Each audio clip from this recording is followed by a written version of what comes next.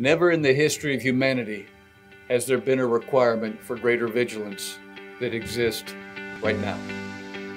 It's June of 2022 that the, the, nature of global security is rapidly changing. And as you've discovered over the course of the last six to seven months, all of the blood, sweat, and tears that you pour into thinking and acting make a difference.